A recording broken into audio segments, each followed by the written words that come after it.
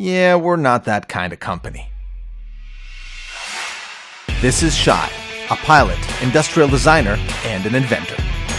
Every year or so, Shai's friend challenges him to create a never before seen invention. First, he was challenged to create a smartphone controlled paper airplane. Then, to add a camera to that plane. Then, a plane that can do aerobatics. Last year, Shai's friend looked at all the inventions and said, Those are all great, but you can't put a flight computer with autopilot on a paper airplane so it'll fly even if it's crummy.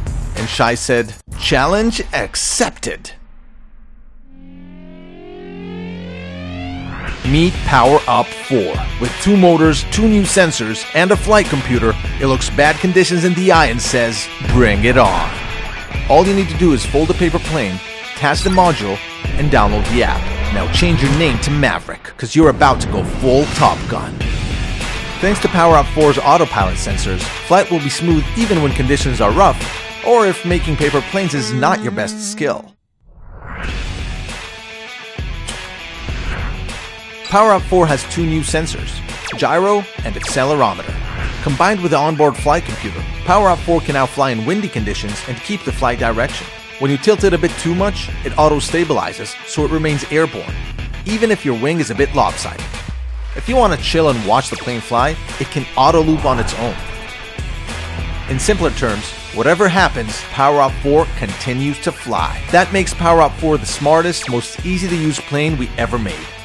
When you're done flying, PowerUp will give you data about your flight, like maneuverability score, length of flight, and quality of paper folding. Then you get personalized tips on how to optimize your next flight. So no matter what plane you create, it will soar majestically.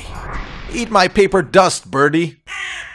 PowerUp 4's module, made of nylon and carbon fiber, is stronger than ever, so crashing it is a no worry. On top of that, with a new flight computer, stalls and nosedives are almost eliminated. But as Che Guevara once said, a revolution needs more than sensors and data. I didn't say that.